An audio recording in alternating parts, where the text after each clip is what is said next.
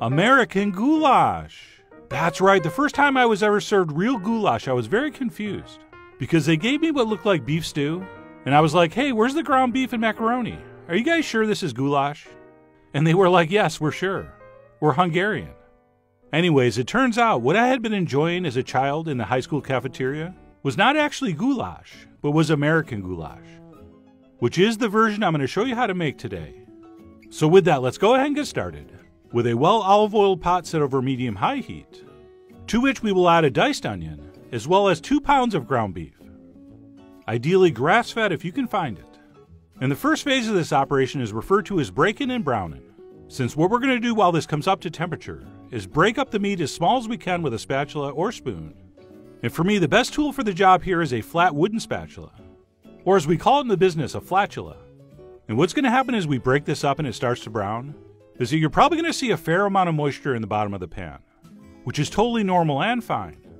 But what we want to do before we move on to the next step is cook this until virtually all that moisture evaporates. And we can see that the bottom of the pan is basically dry. All right, you see that? And then once that happens, in some recipes, we'd actually keep cooking this until our beef and onions got nicely browned. But for this recipe, that is not traditionally done. But anyway, what we'll do once we've reached dry bottom status is stop and toss in some minced garlic, as well as a generous amount of salt. And we'll also toss in some black pepper and cayenne pepper at the same time for a little change of pace. We are also definitely going to need some paprika, preferably Hungarian, but Spanish will do. And then we will finish up with a big spoon of dry Italian herb mix, as well as one or two bay leaves, or in my case, one and a half bay leaves. And what we'll do is stir that in, and then cook it for about three or four minutes which we are not only doing to saute the garlic, but also to sort of toast and wake up those spices. So we'll go ahead and cook that for a few minutes stirring. At which point we can proceed to add our wet ingredients, which for me is going to be a quarter chicken broth, or if you want, you could use water, which is what I'm pretty sure the lunch ladies at my school cafeteria use. And then we will also add some diced tomatoes, either canned or if they're in season fresh, plus one 24 ounce jar of prepared marinara sauce. And of course, as usual, we will rinse the jar with some cold fresh water. And for this recipe, we want to use about a cup.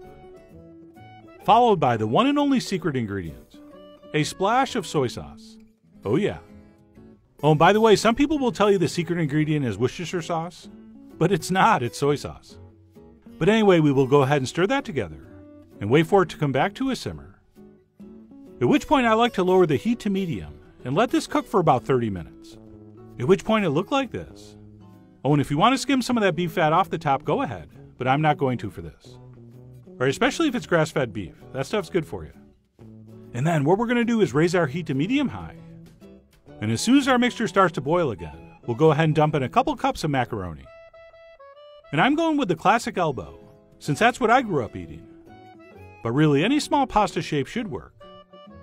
And then what we'll do is stir that in and cook it for about 12 minutes or so or until it is just tender. And this is not something you'll have to stir continually, but I'd say at least every two to three minutes. And you'll see every time you stir, that macaroni will get a little bit plumper. And of course, as always, your times may vary, so make sure you taste a piece or two if you're not sure. Right, this is definitely a dish we don't want the pasta al dente.